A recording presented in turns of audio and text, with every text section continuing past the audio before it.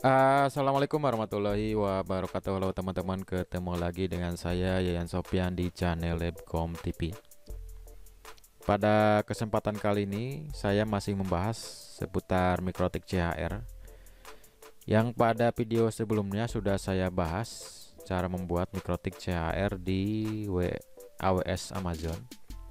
Pada video kali ini saya mencoba membuat di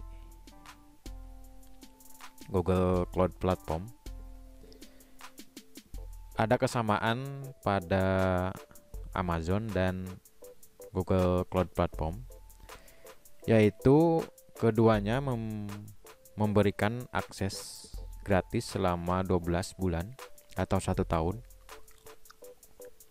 Di sini di Google Cloud Platform kita mendapatkan eh, saldo sebesar 300 dolar atau sekitar 4 juta lebih yang bisa kita manfaatkan untuk membuat mikrotik CHR kalau misalnya 300 dolar salam selama setahun itu kita bisa memanfaatkan mencari spek eh, mikrotik CHR atau BVS dalam di harga 25 dolar per bulan. Agar nanti saldo ini bisa pas habis selama satu tahun. Untuk akses free ini itu banyak sekali yang bisa kita manfaatkan atau bisa kita coba. Salah satunya menggunakan e, menginstal mikrotik CHR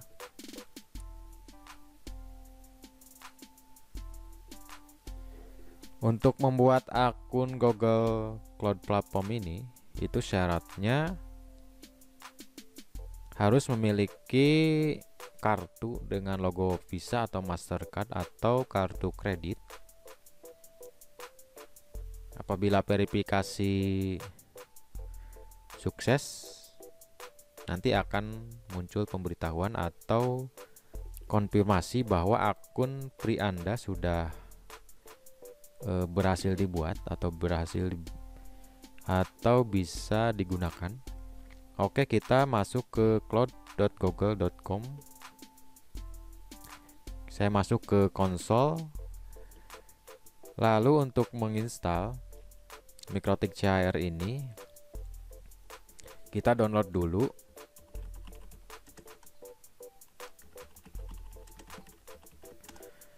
Download dulu mikrotik CHR nya di mikrotik.com di sini saya cari versi terbaru di sini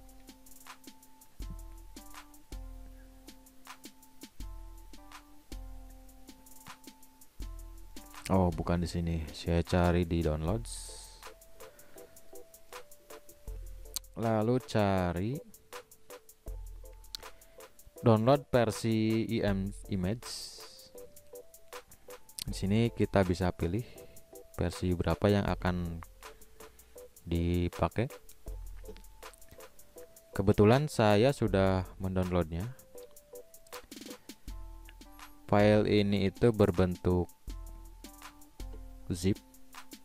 Sebelumnya diekstrak dulu file zip ini.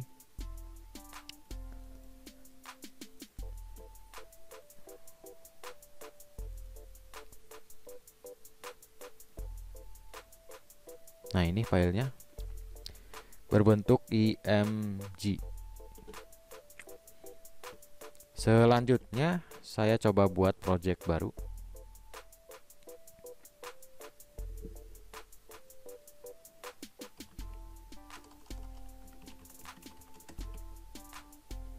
lalu buat.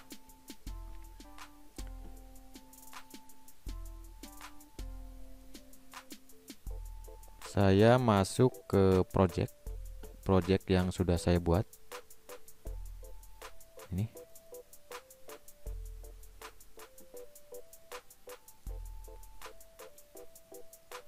Ini sudah berhasil dibuat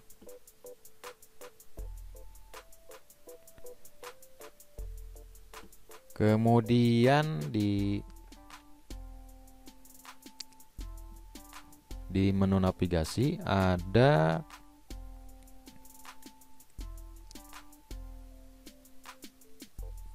cari file storage file uh, storage atau disk. Lalu pilih browse. Kita pastikan menggunakan project yang sudah dibuat tadi yang ini. Di sini masih kosong karena saya membuat project baru. Kemudian buat basket. Lalu di sini kita mengharuskan mengupload file img yang tadi yang sudah di download di mikrotik.com saya coba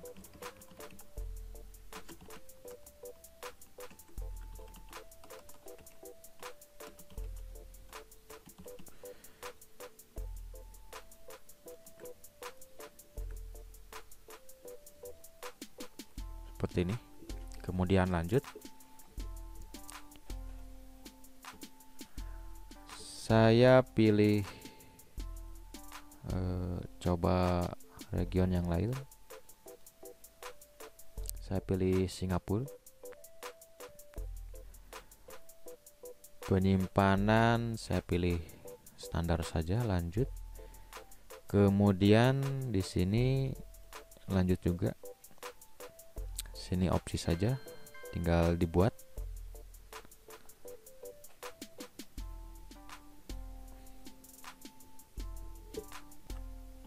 Oke, saya ulangi lagi.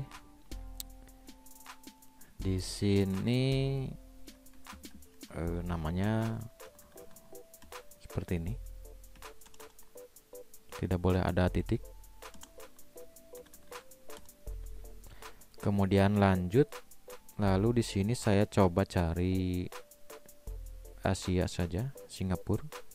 Kemudian lanjut. Di sini saya pilih standar saja. Ini juga masih standar. Ini masih standar lalu buat Oke, basket sudah dibuat. Selanjutnya tinggal upload, unggah file cari mikrotik CR berbentuk image lalu upload di sini. Tunggu sampai proses upload selesai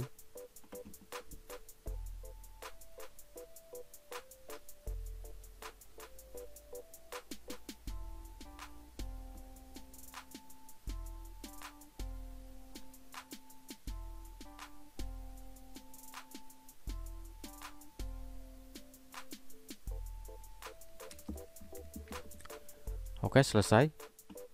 Uh, basket sudah dibuat.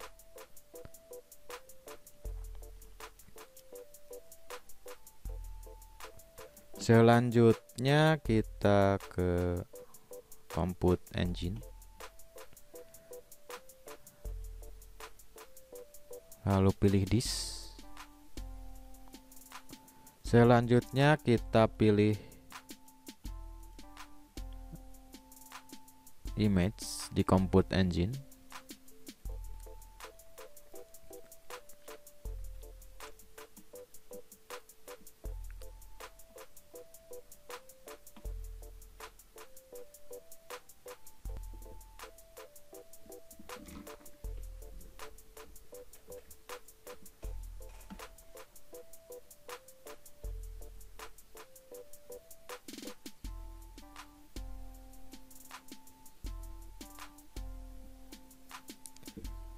Ketika pertama kali kita membuat compute engine, ini akan memakan proses seperti ini. Kita coba tunggu.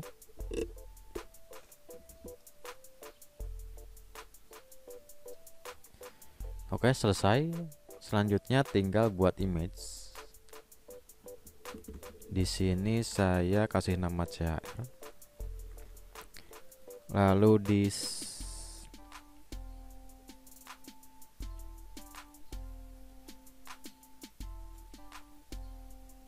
sini.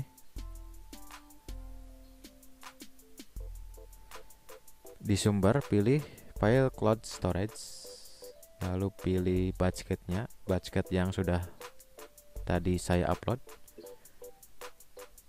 Kemudian pilih car.image seperti ini. Di sini lokasi saya coba cari lokasi Singapura biar lebih dekat seperti ini. Lalu buat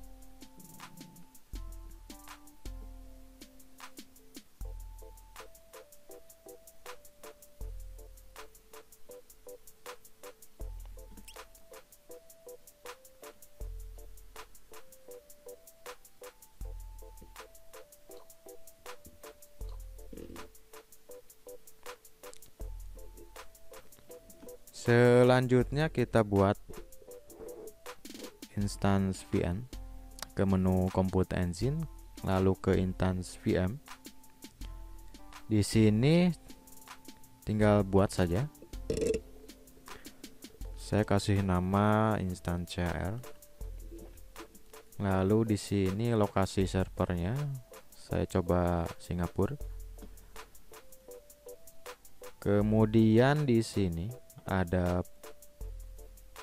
tipe prosesornya. Kemudian di menu sebelah kanan ada perkiraan harganya 60 dolar. Kita cari saya coba cari yang termurah. Misalnya ini 78 dolar untuk satu bulan. Kemudian nanti 15 dolar saya coba yang ini saja 15 dolar.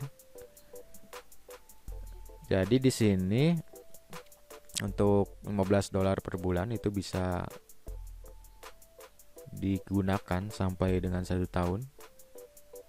Kemudian di boot disk itu ubah ke gambar khusus. Kemudian di sini cari projectnya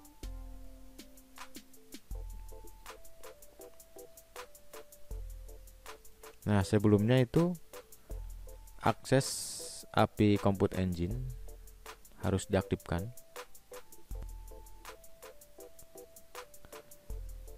API Compute Engine itu harus diaktifkan. Kita coba aktifkan dulu. Nah, jadi kita harus mengaktifkan terlebih dahulu API Compute Engine-nya ke menu API layanan, kemudian di sini di dashboard ada tombol aktifkan dan layanan. Kita cari komput ini komput engine API aktifkan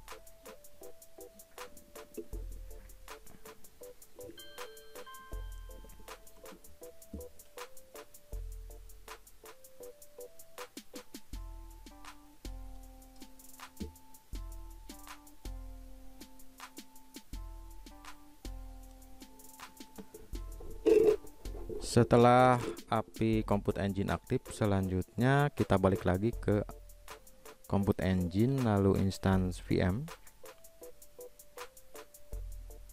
lalu buat kita coba ulangi lagi.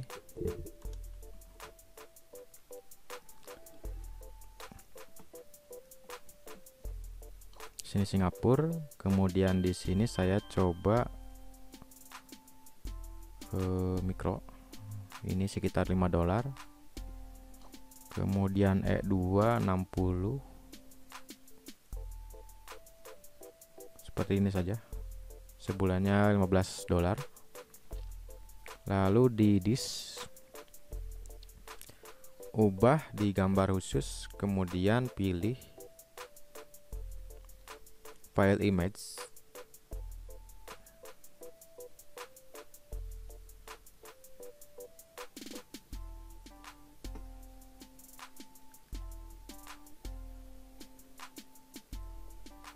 file image yang sudah tadi diupload. Kemudian pilih. Lalu di sini saya menggunakan izinkan HTTP dan HTTPS lalu buat.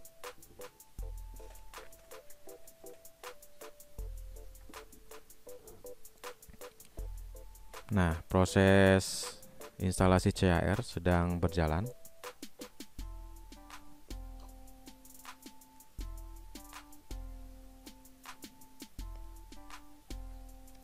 Sambil nunggu persiapan eh, sedang berjalan, kita ubah dulu di firewall di sini. Nah, ini secara default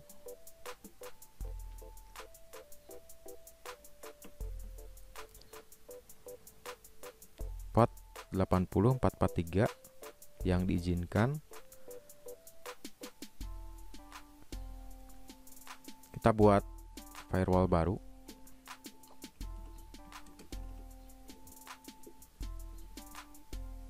Di jaringan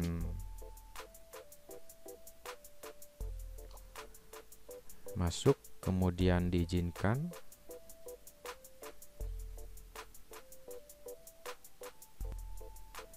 Semua instance lalu rentan IP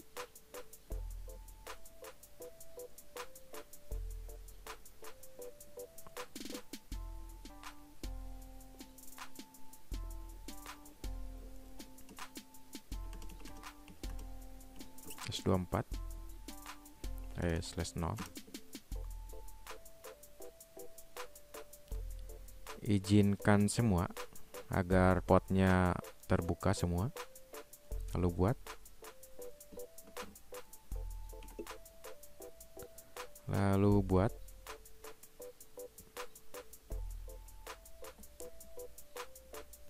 Nah, karena Mikrotik CHR ini berada di firewall, jadi harus menambahkan firewall diizinkan untuk semua pot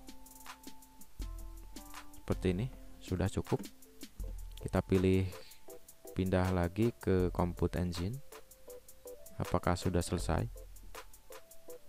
Nah ini sudah selesai. Ini IP publiknya tinggal di copy lalu dibuka di winbox karena ini baru diinstal berarti tidak ada passwordnya. Nah ini selesai berhasil masuk. Sistem identity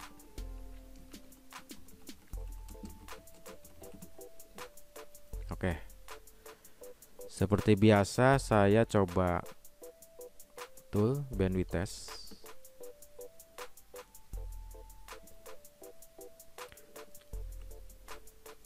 saya coba bandwidth test. Sistem lisensi. Sini. Masih versi free.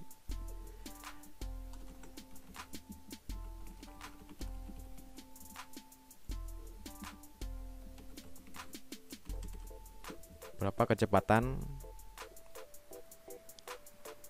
CHR ini untuk saya tes itu ke server Google platform. Di versi pre masih terlihat 1 mega dan RX nya hampir 1000 mega. Saya coba masukkan lisensinya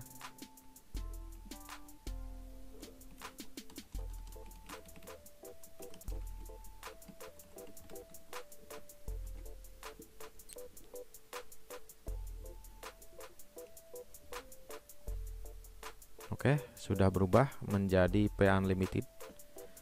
Saya coba tes lagi.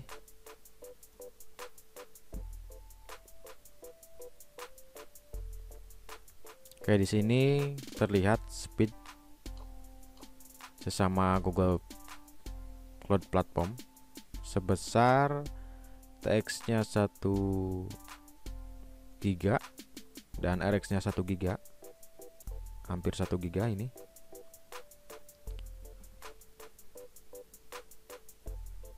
Oke, saya coba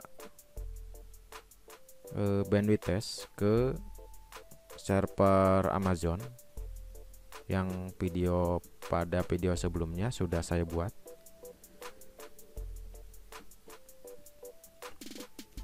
Di server Google Cloud di server Google Cloud Platform ini kecepatan mendekati 1 giga saya coba tes ke server Amazon berapa kecepatan maksimal interface ini CHR ini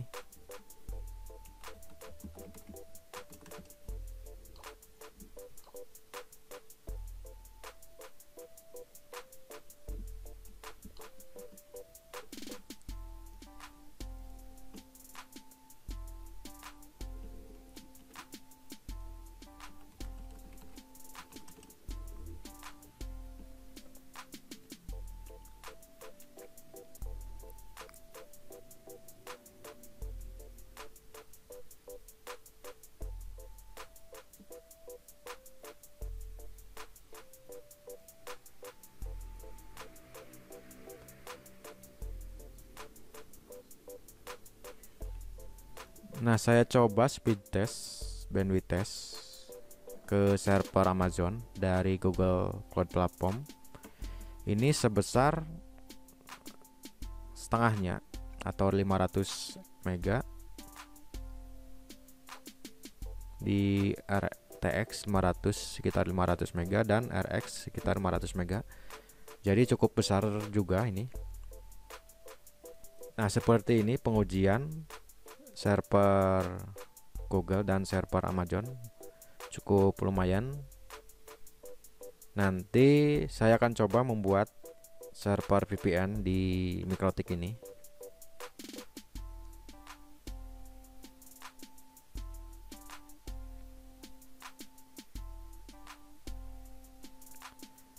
Yang akan digunakan untuk remote Mikrotik dan remote access point di bawah Mikrotiknya jadi ini akan dibuat bahan percobaan untuk video selanjutnya. Saya akhiri video ini. Terima kasih telah menonton video ini. Jangan lupa di like dan di subscribe channelnya agar jika ada video terbaru dari channel ini teman-teman bisa cepat mengetahuinya. Terima kasih telah menonton video ini. Assalamualaikum warahmatullahi wabarakatuh.